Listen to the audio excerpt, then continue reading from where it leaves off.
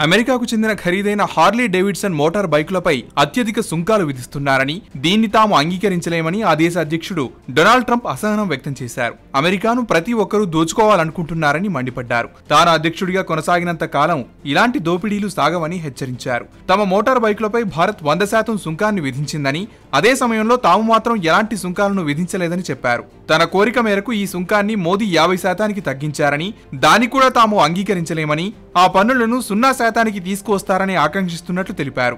ప్రపంచంలో అత్యధిక సుంకాలను వసూలు చేస్తున్న దేశాల్లో భారత్ ఒకటని ట్రంప్ విమర్శించారు. అమెరికా ఉత్పత్తులపై భారత్ అధిక పనులు వసూలు చేస్తుందని ఆగ్రహం వ్యక్తం చేశారు.